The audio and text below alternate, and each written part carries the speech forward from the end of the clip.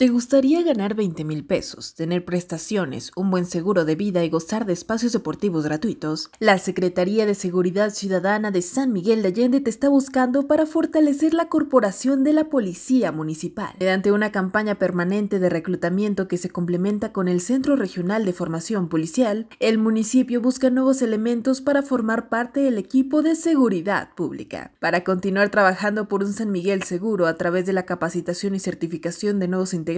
para que fortalezcan sus capacidades bajo los parámetros de eficacia, honradez y respeto. Gabriel Yáñez, secretario de Seguridad Ciudadana, asegura que es sumamente importante ofrecer garantías en temas de seguridad para los ciudadanos sanmiguelenses y sus visitantes, ofreciendo una oportunidad real y atractiva de desempeño laboral. El objetivo de, la campaña de reclutamiento va enfocado propiamente a la indicación e instrucción de nuestro alcalde